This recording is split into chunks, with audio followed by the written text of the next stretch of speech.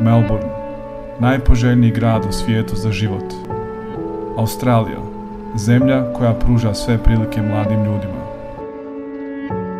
Kao da je upravo jučer bilo, dobro se sjećam svih trenutaka, moga puta izbjeglice iz Bosne i Hercegovine do Švicarske pa do Australije.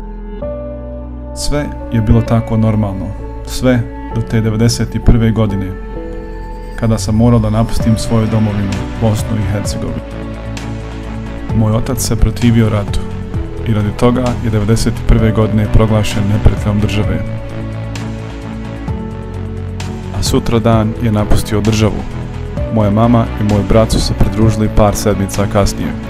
Ja sam ostao da završim prvi razred osnovne škole, međutim, kada je situacija bila takva da se više nije moglo ostati u ovoj državi, i ja sam se pridružio svojoj familiji u Švicarskoj.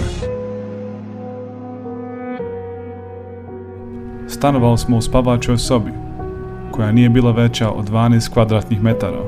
Učili smo novi jezik, nismo imali pravo za posao. U ovoj državi smo uvijek bili stranci.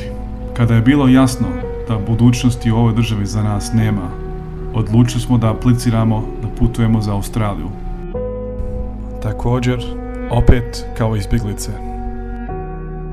Australija je bila drugačija, dočekala nas ih otvorenih ruku, pružila nam je sve prilike da se integrišemo, dobili smo priliku da se školujemo, da radimo, da kupimo svoju kuću.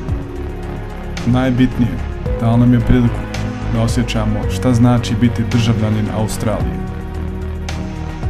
Danas sam uspješni akademik na Latrobe univerzitetu iskorištavam svaku priliku da pomognem onima kojima je to najpotrebnije.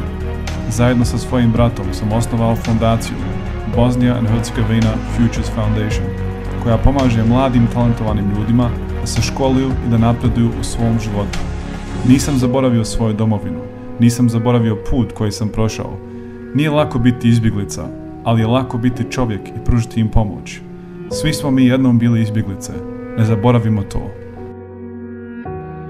Budimo uz izbjeglice.